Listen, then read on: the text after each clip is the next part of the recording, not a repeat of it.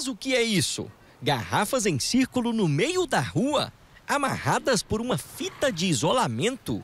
A região do Jardim América recentemente passou por um recapeamento asfáltico.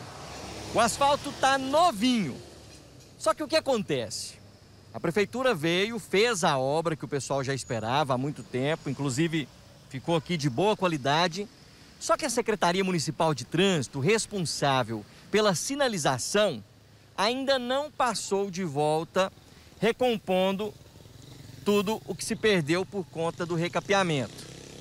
Estamos aqui no cruzamento da rua C137, essa que vem ali da T10, muito movimentada, com a C182, também bastante movimentada, que liga várias regiões, vindo ali do Parque Amazônia, descendo para as regiões que seguem aqui pelo Jardim América. E aí, o pessoal aqui da região, cansado, com tantas batidas, com o trânsito perigoso, eles resolveram por eles mesmos improvisar a rotatória.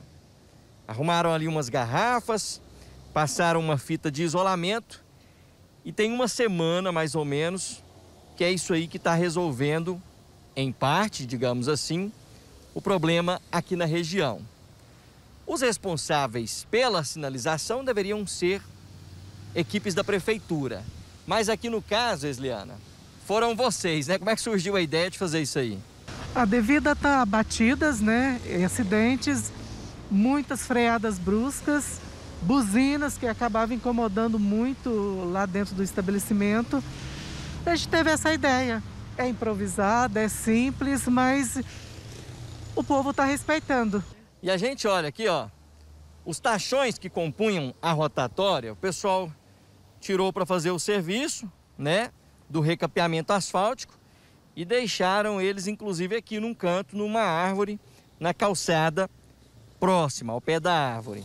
E aí agora a gente fica esperando a resposta da prefeitura quanto a essa sinalização neste cruzamento da C-137 com a C-182 e em vários outros aqui na região do Jardim América.